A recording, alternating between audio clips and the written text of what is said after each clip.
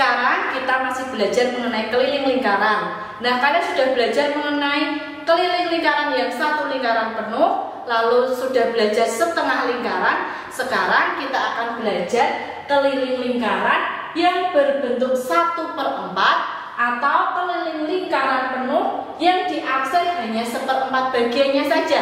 Kalian harus mengingat lagi rumus keliling lingkaran yaitu Pi dikali D. Nah, perhatikan gambar.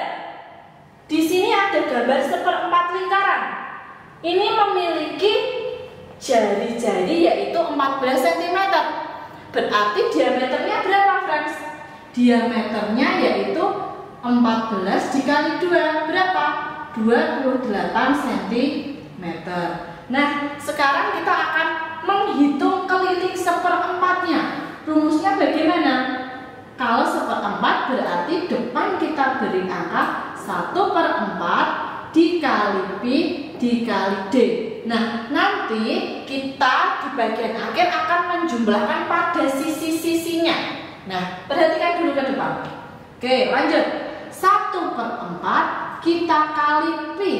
Pi-nya ini melihat jari-jarinya atau diameternya. Apakah diameternya ini merupakan kelipatan 7. Kalau kelipatan 7 berarti P-nya menggunakan berapa?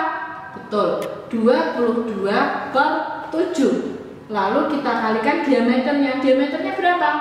28. Sekarang kita hitung. Ingat, 28 bisa dibagi 7. Berapa, Frans?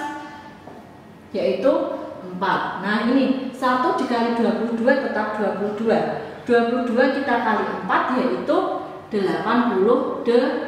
Ingat, masih harus dibagi 4. Berapa? 22. Nah, ini tidak cukup sampai di sini.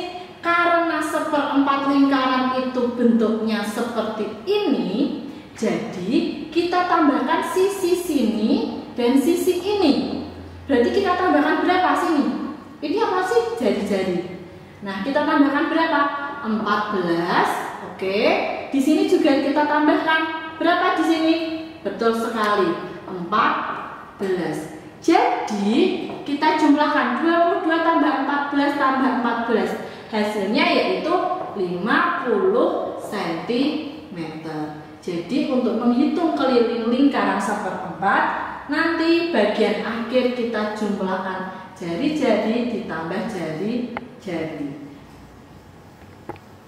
Nah, inilah cara menghitung keliling seperempat lingkaran. Bye-bye.